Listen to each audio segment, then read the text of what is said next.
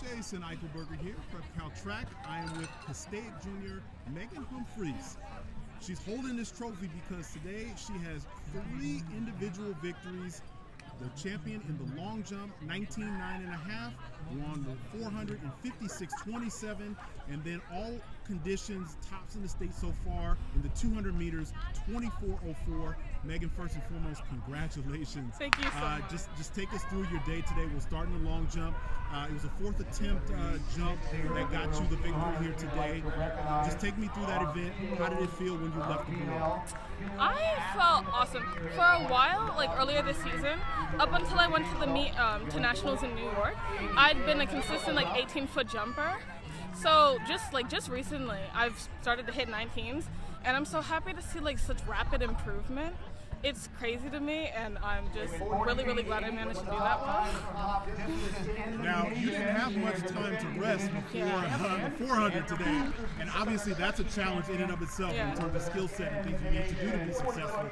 Take us through that race and mentally how you were able to kind of push aside what you did in the long jump and then go ahead and do that in 400. Honestly, the 400 has never been my favorite race, so it was like, honestly, I was dreading going into it, but um, I told myself just like I have such a long break until I get to the 200. I'm just gonna leave any energy I have, just leave it out on the track. And going into it, I knew I wouldn't have much time to rest, and I'm also kind of used to going back and forth from events because I typically I'll do high jump and long jump, and they're normally at the same time. So I wasn't too fazed by the short rest. but um, I don't think it impacted my race too too much. So. got the victory there, and then uh, the cherry on top of the sundae, Yeah. 24.04 in the 200.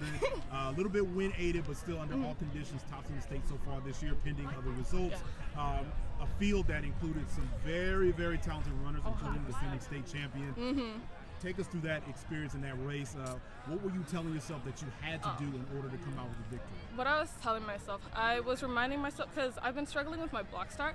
I was reminding myself like, no matter how like what happens with my block start, I have to get out as fast as I can. Don't like stutter, but like mentally it shouldn't affect me if I do mess up my block start. I also told myself that I need to catch whoever's on my outside. I need to catch them as soon as possible. That's always been a strategy that's always like helped me to um, like figure out how to not exactly pace myself, but just to like pull myself up in the race and like make myself run faster. Um, during the race, I I'm blanking out on the name, but the state champion. She was on my on my inside, and she passed me up by the time we got on the curve. She was right next to me, so I was like, I gotta catch her on the straightaway. and man, was I fighting to get that. It was a really tough race. I'm really happy with the outcome. I think everyone did great.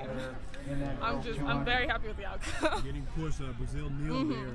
Oh, uh, Sarah 100%. definitely getting pushed. That that obviously shows a lot about yourself as well. How will you take this performance here today? Three PRs. How will you take this and sort of bottle this uh, energy up and this momentum as we now move next week? Obviously, a big meet in terms Mm-hmm. of Arcadia. I'm really hoping that um, I've been getting recently. I've been getting almost like not to brag, but been getting like hitting PR after PR, and it's just helping me build confidence and like momentum to push myself even harder to do well in my events.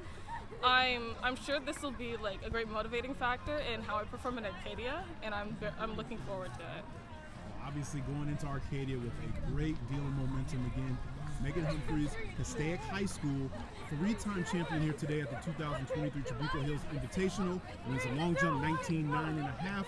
Wins the 400 56 27 and then 24 04 all weather, all conditions. Uh, tops in the state so far this year. Megan, congratulations, and we'll see you next week.